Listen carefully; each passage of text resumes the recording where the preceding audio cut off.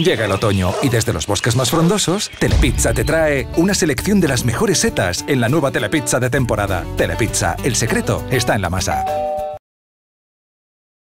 Jokalariak pozik daude, irabazi nahi genuen, baina itzuleko partida irabaztea espero dugu. Ligan irabazten jarraitu behar dugu. Ez galtzea ere garrantzitsua da. Beko postuetatik aldendu behar dugu. Neretzako oso garrantzitsua izan da. Golik sartzen ez badigute, ez galtzeko modu bat da. Ondo defendatu beharra dugu, baina baita golak sartu. Gure afizioari ondo pasagarazi.